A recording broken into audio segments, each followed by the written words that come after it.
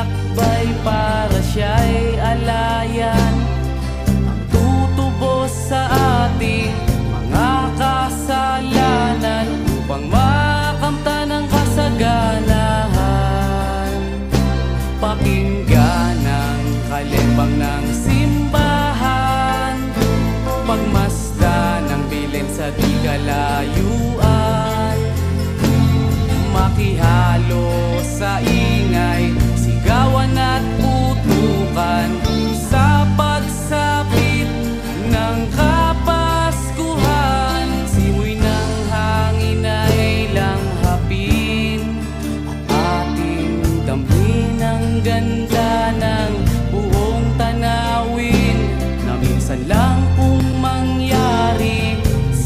isang taon.